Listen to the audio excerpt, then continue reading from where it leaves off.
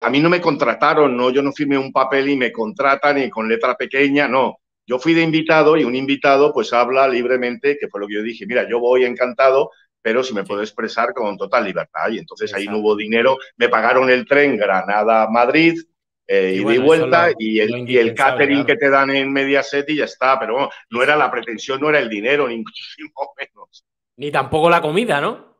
No, porque la verdad es que no era muy recomendable tampoco.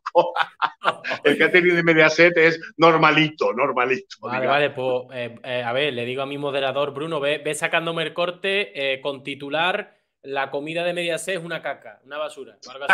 no, no he dicho eso, no manipules, he dicho que normalito, estándar, dejémoslo, que... digamos finos, estándar. Sí, pero ya, ya luego en el vídeo lo explico mejor. Vale. no, hombre, broma. Que